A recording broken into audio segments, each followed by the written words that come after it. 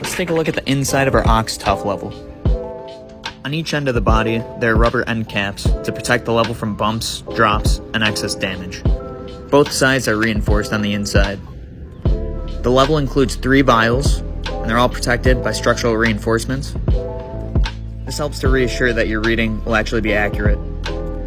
And if anything were to happen to your Ox vials, that's just fine, they come with a lifetime warranty.